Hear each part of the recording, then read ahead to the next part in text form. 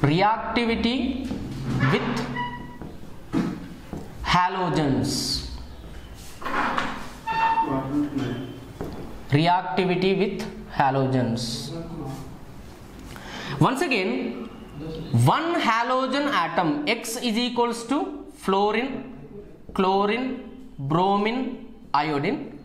So here x dash also is equals to fluorine chlorine bromine iodine means in halogens one halogen atom can react with another halogen atom to produce x x dash x x dash 3 x x dash 5 x x dash 7 type of compounds. These compounds are called as means one halogen atom reacted with another halogen atom to produce four types of halogen compounds. They are called as interhalogen compounds. Inner halogen compounds.